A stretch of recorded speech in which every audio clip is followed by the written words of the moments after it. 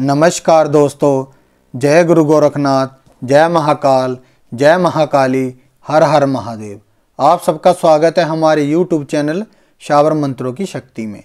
दोस्तों, अगर आप हमारे चैनल पर नए आए हैं तो अभी हमारे चैनल को सब्सक्राइब कर दीजिए और वीडियो को लाइक, शेयर भी कर दीजिए।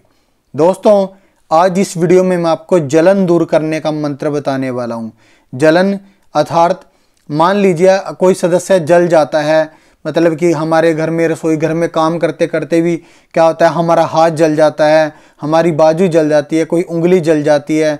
दोस्तों, अगर ऐसा होता है या फिर शरीर जल जाता है, कोई भी ऐसी समस्या होती है तो आप इस मंत्र के द्वारा उनकी जो जलन को दूर कर सकते हैं। दोस्तों, यानी कि देखो, जला हुआ तो ठीक जो होगा वो टाइम लेकर होगा मेडिसिन से के साथ ठीक होगा, कुछ चीज़ें यूज़ करके ठीक होगा वह भी मैं आपको बताऊँगा आप उसके साथ क्या चीज़ को इस्तेमाल कर सकते हैं जिससे आपका जला हुआ भी जल्दी ठीक हो जाए।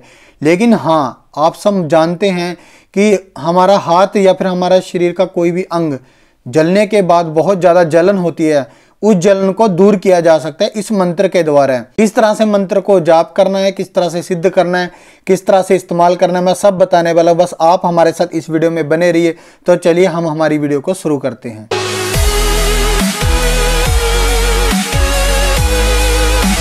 दोस्तों, जैसे मैं आपको पहले ही बताया कि हम जलन दूर करने के मंत्र के बारे में बात करने वाले हैं। पहले इसकी विधि जान लीजिए कि किस तरह से इसको सिद्ध करना है। दोस्तों, सिद्ध करने की विधि इस तरह से है। आप इसे ग्रहण काल में 108 बार जब के सिद्ध कर सकते हैं। आप इसे होली, दीपावली पे एक एक माला या फिर पाँच पाँच माला जाप करके भी सिद्ध कर सकते हैं। या आप 11 दिन तक लगातार इस मंत्र की मतलब कि एक एक माला जाप करके भी इसे सिद्ध कर सकते हैं। आप इसे किसी भी देवी के मंदिर में सिद्ध कर सकते हैं, भैरवनाथ जी के मंदिर में भी आप इसे सिद्ध कर सकते हैं। दोस्तों, सिद्ध करने का बिल्कुल सिंपल तरीका इस मंत्र में कोई ज़्यादा बड़ी बात नहीं है। यदि आप डेली इसकी एक माला भी जाप करते रहेंगे तो भी ये मंत्र अपने आप ही सिद्ध हो जाएगा। इसके लिए कोई स्पेशल विधि नहीं है कि मंत्र को किसी स्पेशल तरीके से सिद्ध करना है। दोस्तों, अब मैं आपको मंत्र बता देता हूँ। मंत्र आप देख लीजिए, स्क्रीन पे भी आपको दिख जाएगा। ओम नमो आदेश गुरु का कामरू देश कामाख्या देवी जले तेल रेल तेब महातीरे। दोस्तों अमुक है ना अमुक के स्थान पर उसका नाम लेना है जिसका हाथ या पाव कुछ भी शरीर का अंग जल गया हो। ले, अमुक लहर पील मल में कारे मंत्र पड़े नरसिंह देव कुटिया में बैठ के श्री रामचंद्र रही रही फूंक के जाए। अमुक की जलन एक एलन में जाए खाए सागर की नोर नान में आज्ञा हाड़ी, दासी की, फुरो मंत्र चंडी वाचा।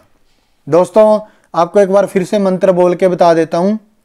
ओम नमो आदेश गुरु को, कामरु देश, कामाख्या देवी, जले तेल रेल तेव, महातीरे, अमुक लहर पील, मल में कारे।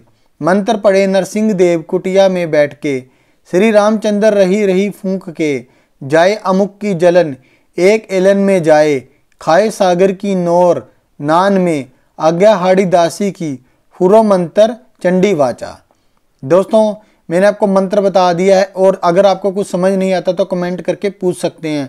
दोस्तों, अमुक है ना, दो जगह पर अमुक अमुक कहा गया है। वहाँ पर आपको उसका नाम लेना है, जो भी मतलब कि सदस्य को आपको मतलब कि जल गया है, उनकी जलन दूर करनी है। अब इसे इस्तेमाल कैसे कर सकते हैं? यदि कोई इंसान जल गया हो तो सरसों का तेल लेकर इस मंत्र से आमंत्रित करके जले हुए स्थान पर लगा देने से जलन ठीक हो जाती है। और मंत्र में जहाँ पर मैंने आपको पहले बताया अमुक का स्थान है, वहाँ पर उस सदस्य का नाम लेना है जिसका शरीर का कोई भी अंग जल गया है, जिसको आपने तेल, जिसको भी आपको तेल लगाना है। दोस्तों, बिल्कुल सिंपल सी विधि थी और बिल्कुल छोटा सा मंत्र था। अगर आपको कुछ समझ नहीं आता तो आप कमेंट करके पूछ सकते हैं, वरना आप सिद्ध करके किसी की भी परेशानी को दूर कर सकते हैं, जले हुए, यानी कि जलन को ठीक कर सकते हैं। दोस्तों, यदि क्या होता है आपको जला हुआ स्थान ठीक करना है। मान लीजिए आपका हाथ जल गया है, वहाँ पर दाग नहीं जा रहा जले हुए का, फेस पर जल, फेस जल गया है तो वहाँ से दाग नहीं जा रहा। तो दोस्तों, इसके दो उपाय हैं, दो ऐसी जड़ी बूटी जिसके द्वारा हम इसको ठीक कर सकते हैं। नंबर एक, डबे के फूल। दोस्तों, आप किसी भी पंसारी के पास जाकर बोल सकते हैं, हमें डबे के फूल चाहिए। आपको उसको थोड़ा सा कढ़ाई या तवे पे हल्का सा भून के पीस के उसका पाउडर बना ले रहा है। फिर आपको नारियल के तेल में मिला के उसको जले हुए स्थान पर लगातार जब तक लगाना है, जब तक आपका दाग ना चला जाए। दोस्तों, इसके अलावा एक दूसरी जड़ी बूटी हो रहा है, रतन जोत रतन ज्योति भी बोल देते हैं, उसको भी आप हल्का सा भून कर तवे या कढ़ाई पर उसे पीस कर पाउडर बना लीजिए। जले हुए स्थान पर नारियल लगाकर आप उसे वहाँ पर लगा लीजिए। दोस्तों, एक चीज़ ध्यान में रखिए, जब आपको अगले दिन लगाना है, उसकी अच्छी तरह से सफ़ाई कर लीजिए और फिर ही आपको वो लगाना है। दोस्तों, ये दोनों जड़ी बूटियों से आप अपने निशान को हमेशा के लिए दूर कर सकते हैं। दोस्तों, आज की हमारी वीडियो में इतना था। आपको हमारी वीडियो कैसी लगी, लाइक, शेयर करके ज़रूर बताना और चैनल को सब्सक्राइब करना भी ना भूलिए। हमारी वीडियो में इतना था। हमारी वीडियो देखने के लिए धन्यवाद। आप लोगों का दिन शुभ रहे। आदेश।